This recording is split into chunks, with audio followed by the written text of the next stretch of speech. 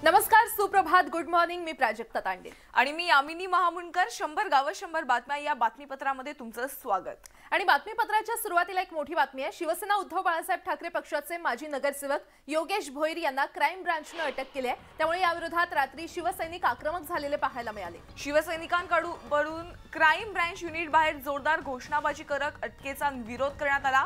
कायदा सुव्यवस्थेचा प्रश्न निर्माण होऊ नये यासाठी रात्री योगेश भोईर यांना दक्षिण मुंबईतील क्राईम ब्रांच कार्यालयात हलवण्यात आलंय.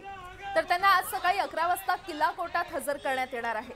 मात्र कार्यकर्त्यांना त्रास देण्याचा प्रयत्न केला जातोय असं कार्यकर्त्यांनी काल घोषणाबाजी केलेली आहे. भोईर यांना किल्ला कोर्टात आज हजर करण्यात येणार आहे. अटकेमुळे शिवसैनिक आक्रमक झाले आणि घोषणाबाजी करण्यात आली.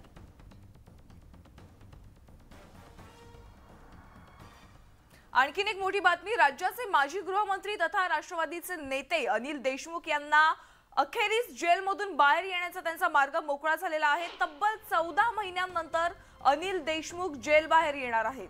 देशमुख यांच्या जामीन आदेशावरील स्थगितीची मुदत आणखी वाढवण्याची सीबीआयची मागणी कोर्टानं फेटाळून लावलेली आहे. अनिल देशमुख जेलमधून बाहेर येणार असले तरी मुंबई उच्च न्यायालयानं त्यांना कडक अटी घातलेल्या आहेत. आणि या अटींचे अनिल देशमुख यांना पालन करावं लागणार आहे. शंभर कोटीच्या कथित वसुली प्रकरणात दोन हजार एकवीस साली नोव्हेंबरच्या पहिल्या आठवड्यात त्यांना अटक करण्यात आली होती.